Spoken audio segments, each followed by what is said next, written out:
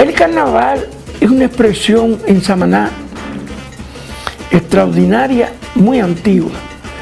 Sobre todo la comparsa más importante que había, yo llegué a verla, era una comparsa de indios. Pero a partir del 83 comienza a surgir un diablo completamente transformado.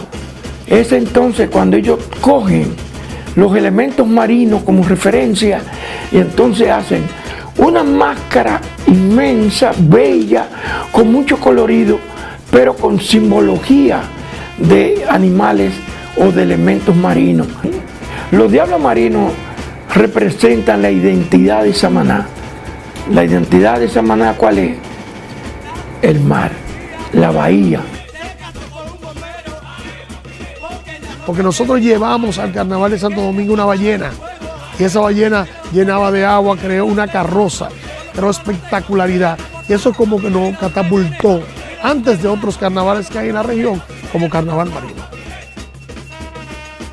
Bueno, cuando mi comparsa nació, yo le puse los murciélagos y nos pusimos a hablar entre dos muchachos y yo. Y yo le dije, vamos a elegir algo que sea de nuestro pueblo. Vamos a poner un nombre que podemos trabajar en ballena, en coco, en los haitíes, en cualquier cosa que nos represente como samané.